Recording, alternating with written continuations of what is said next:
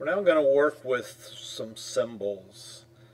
So a symbol is a reusable asset you can use for special effects, animation, interactivity. There's three types of symbols, graphic, button, and movie clip. For our project this time we're going to use a movie clip. Now that doesn't mean it's necessarily animated because in our case on this one it's not. So this is where you should be at this point. We just did the text. So now on the stage, select only the coffee cup. So with your selection tool, click on the coffee cup. We're going to click Modify, Convert to Symbol, and we're going to call that coffee mug. And we are going to choose movie clip from the type. So yours may be graphic, or I don't know what yours is, but select movie clip and leave everything like it is and then we're going to click OK.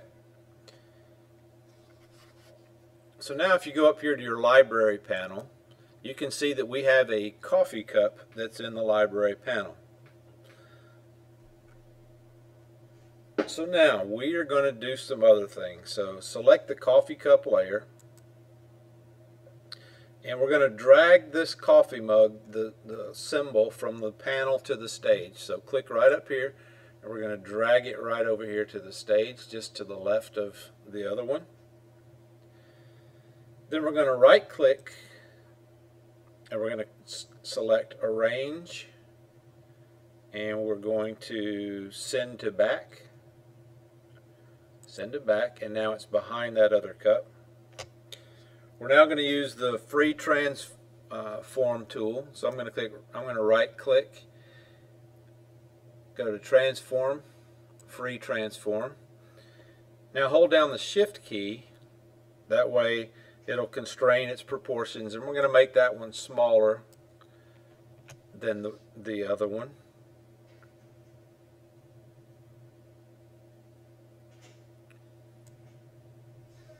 I'm going to move it up to where it's a little bit behind that other one. So now use click on the selection tool. Make sure that that mug is selected. And then over here in the properties panel,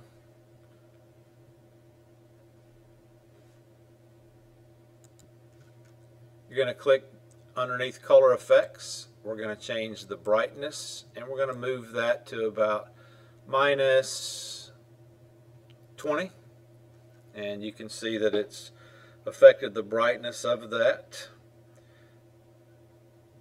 Then we're going to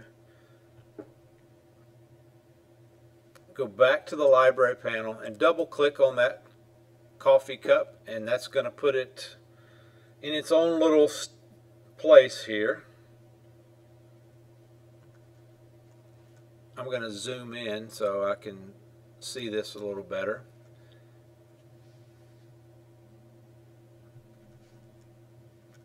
Double click on that cup and you can see that it's changed it to where, where we can edit it. If you look up here, you can see that we have our working copy and then you can see we have scene one, we have coffee cup, mug, and we have group. So let's now click on the Let's click to deselect it. Double click just the outline to where it selects the outline. And then go over here to the properties panel. And let's change the stroke size to like, uh, let's say, 3. Make it a little bit bigger. You can see that we've got a little bit thicker outline around our cup now. Now click scene 1 on the edit bar above and it takes it back to there. And you can see that they're linked together. So both coffee cups now have a stroke that was a little bit bigger than it was before. And so next thing we're going to do using the selection tool double click the large coffee cup mug. So double click that mug. And you can see then everything else on the stage is dimmed and we're now into what's called symbol editing mode. notice that the, on the edit bar above that it no longer says that we're in scene one, but we're in the coffee mug. That's where we are. So double click on that cup to edit it. So now all the everything inside there is editable. So if you wanted to change like the color of the the stroke and you could change the size of it, you can make any types of changes that you want. Uh, whatever you see fit, make it narrower. You may change its color. You could add a handle. Uh, I'm not going to make a handle, but if you wanted to, you could put a handle on your cup. Then after you make whatever changes that you make to it, which is completely up to you, click Scene 1 on the edit bar above, and that takes you to the main timeline, or you could just double click on the stage outside the graphic, and that takes you to back to where you were. So now we're going to do what's called breaking apart a symbol instance. If you no longer want an object to be a symbol instance like we had here, we can use the break apart to return it to its original form. So use the selection tool to select one of the coffee cups, cups on the stage. It doesn't matter which one. Go up here to modify and then break apart. Then choose modify and break apart again. When you do that, it breaks animate breaks apart the group into its individual components, which are the shapes. So you could do that, and at that point you could make changes to the, all those things. So it's just showing you how you can do that. So now click Edit and then undo these break aparts because we're going to take it back to where it was, however many times you did that. So now we're going to select the smaller cup and we're going to show you how to apply a blur filter. So in the Properties panel, so you've selected that, go up here to the Property panel and then expand the Filters section so, and you can see that there are no filters added right now. Uh, click the plus sign to add a filter, and we're going to select blur. And you can see here, you could change it. We're going to, mine is four and four. I'm just going to leave it there. That's, and you can see that this cup has got a little bit of blur to it. So leave it, or you can change it as long as your cup has some type of blur to it. All right, so now we're going to convert and export our art. So we've completed our composition. We've got a simple illustration. We've got some text boxes. We've got these cups blurred. We've done all of these things to them. And so now, select the selection tool. If any of your layers are locked, unlock them. Select the wavy,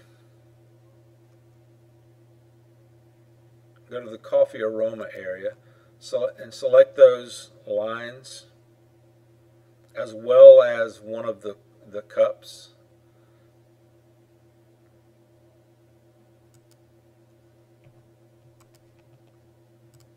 I'm holding down the shift key. And so then go up here to modify and convert to bitmap. And when you do that, you can see that uh, that cup and those layers are now converted to a bitmap image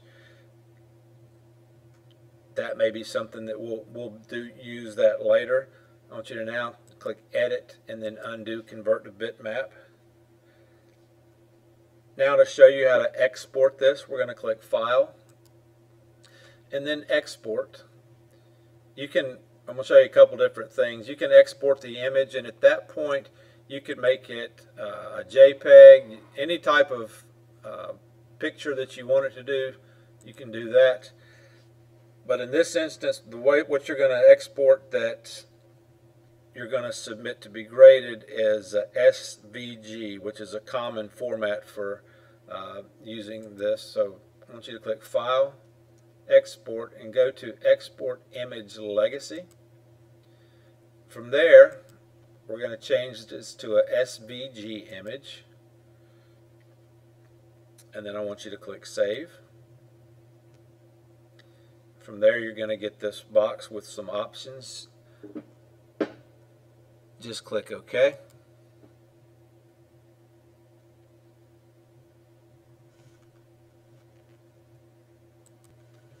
One thing I didn't do when I exported mine, I didn't look to see that I exported it to the right place. So when you when you click export legacy, make sure that you put it in your Animate 2020 Lesson 2 file because I did mine and then all of a sudden I couldn't find it because I didn't pay attention. So don't be like me.